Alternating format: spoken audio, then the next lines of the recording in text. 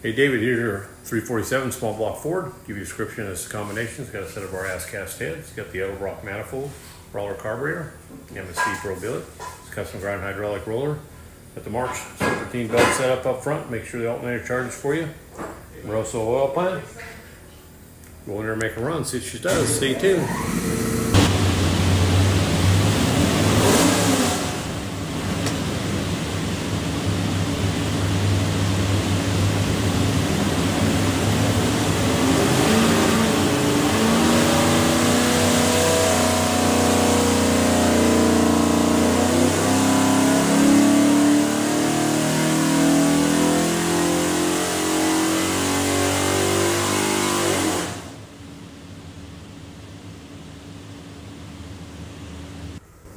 Okie doke, 3,500, 423 foot pounds of torque. Peak torque uh, looks like 430.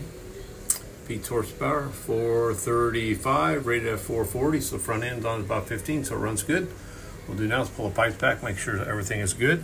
When you receive your engine, find this thing looks like a credit card's USB card. It is full of technical information.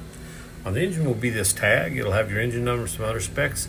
If you need anything from us, that engine number is the easiest way to look you up. Flip it over. It's got a QR code.